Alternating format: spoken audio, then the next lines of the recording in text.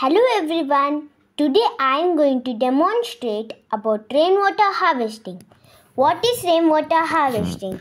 Rainwater harvesting is the simple process or technology used to conserve rainwater by collecting, storing, conveying and purifying of rainwater that runs off from rooftops, parks, roads, open grounds, etc. for later use. Why do we harvest rainwater? The rainwater harvesting system is one of the best methods practiced and followed to support the conservation of water.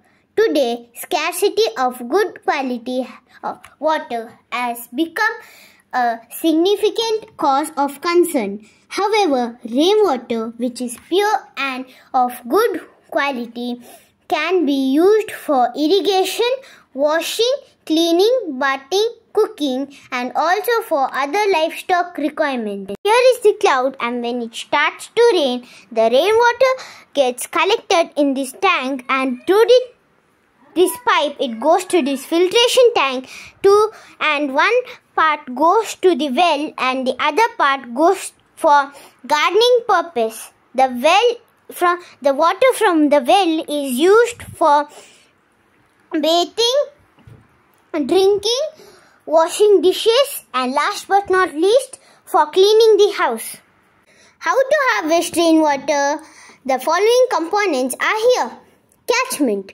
It is used to collect and store the captured rainwater. Conveyance system.